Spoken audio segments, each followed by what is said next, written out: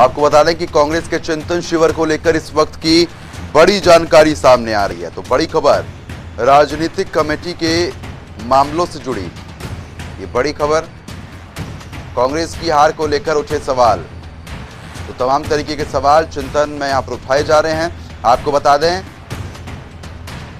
कांग्रेस के चिंतन शिविर को लेकर इस वक्त की ये बड़ी जानकारी सामने आ रही है। राजनीतिक कमेटी के मामलों से जुड़ी बड़ी खबर है। कांग्रेस की जो हार हुई है चुनावों में, उसको लेकर तमाम तरीके के सवाल यहाँ पर उठाए जा रहे हैं। आपको ये भी जानकारी दे दें कि किस तरीके से रोड मैप बनाना है आने, आगे आने वाले चुनावों के लिए। उस पर भी बातचीत यहाँ पर की जा रही है। तो छह अलग अलग कमेटी बनाई है अलग अलग मसलों पर बातचीत की जा रही है। तो राजनीतिक कमेटी की तरफ़ से तमाम तरीके के सवाल यहाँ पर उठा दिए गए हैं, क्योंकि कांग्रेस जिस तरीके से हार का सामना कर रही थी तो ऐसे में उस पर भी सवाल उठे हैं। तो इस वक्त की ये बड़ी खबर कांग्रेस के चिंतन शिविर का आज आखिरी दिन है। तीन दिन का कांग्रेस चिंतन शिविर चल रहा था, आज आखिरी दिन है। आखिरी दिन में सोनिया गांधी और राहुल गांधी के भाषण भी यहाँ पर देखने को मिलेंगे। तो आपको बता दें कि कांग्रेस की हार को लेकर भी सवाल उठे हैं।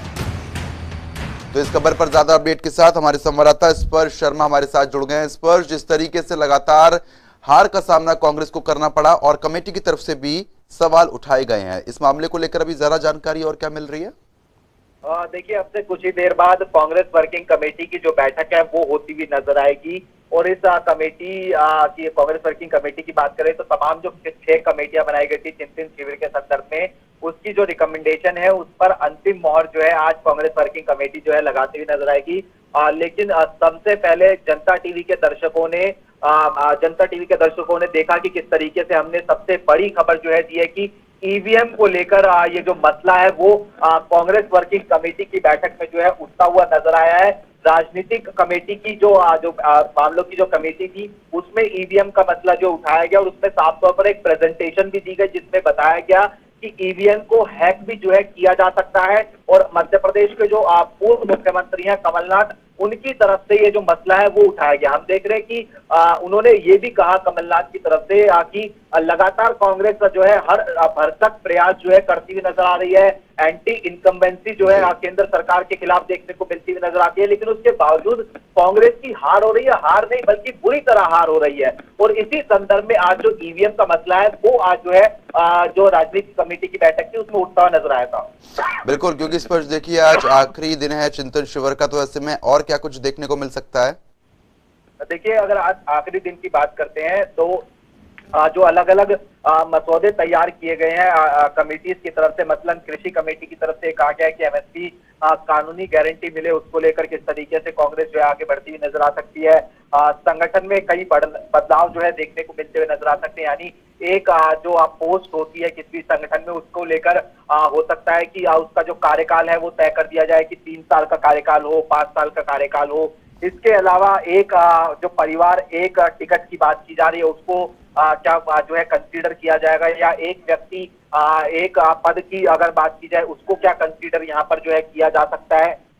तो ऐसे आ, कई सारे मसले जो है वो आज तो, कांग्रेस वर्किंग कमेटी की बैठक जो है आ, उसमें जो है फाइनलाइज होते हुए नज़र आएँगे।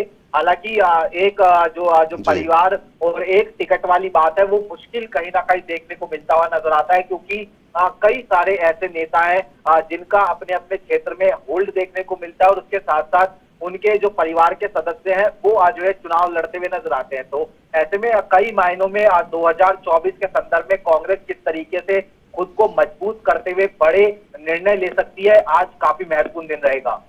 चलिए, ठीक है स्पर्श बहुत बहुत शुक्रिया। तमाम जानकारी देने के लिए खबर पर नज़र ज़रूर बनाए रखिएगा। आगे भी हम लोग आपसे अपडेट लेते रहेंगे। तो इस वक्त की ये बड़ी खबर, चुनाव आयोग से कांग्रेस करेगी मांग। तो देखिए, तमाम तरीके की मांग यहाँ पर उठाई जा रही हैं। चुनाव ईवीएम से नहीं, मतपत्र से हो। तो मतपत्र का भी ज़िक्र यहाँ पर कर दिया गया है, क्योंकि कांग्रेस को ईवीएम पर भरोसा नहीं हो रहा है। कांग्रेस के चिंतन शिविर को लेकर इस वक्त की ये बड़ी खबर है। राजनीतिक कमेटी के मामलों से जुड़ी इस वक्त की बड़ी खबर हम आप तक पहुँचा रहे हैं। आपको बता दें कि कांग्रेस की हार को लेकर सवाल उठ रहे हैं। कमेटियों के द्वारा ये सवाल उठाए गए हैं। आपको ये भी जानकारी दे दें कि ईवीएम का मसला भी चिंतन शिविर में उठा है। तो ऐसे में कांग्रेस लगातार इस मुद्दे को उठा रही है। ईवीएम हैक करने को लेकर प्रेजेंटेशन भी दिया गया है। तो आपको बता दें कि चुनाव आयोग से कांग्रेस मांग भी करने वाली है आने वाले समय में। आपको ये भी जानकारी दे दें कि चुनाव ईवीएम से नहीं, मतपत्र से हो। कांग्रेस ने इस बात का ज़िक्र किया है कि ईवीएम से नहीं, जो आने वाले चुनाव है, वो मतपत्र से किए जाएँ। तो कांग्रेस के चिंतन शिविर को लेकर इस वक्त की ये बड़ी खबर।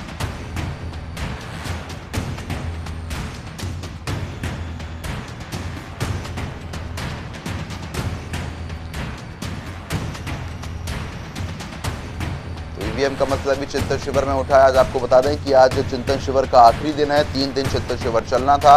ऐसे में लगातार कई मुद्दों पर बातचीत की गई है। पार्टी को किस तरीके से आगे बढ़ाना है, क्या रोड मैप 2024 के लिए तैयार करना है, किस तरीके से आने वाले समय में परिस्थितियों को आगे लेकर जाना है। तमाम मुद्दों पर बातचीत हुई। है आपको ये भी जानकारी देने की छह कमेटी अलग अलग विभाग के लिए बनाई गई थी। चाहे वो किसान हो, यूथ हो या अलग अलग क्षेत्रों में। तो ऐसे में लगातार कांग्रेस का चिंतन शिविर का आज आखिरी दिन है और कमेटियों ने भी तमाम सवाल उठाए हैं।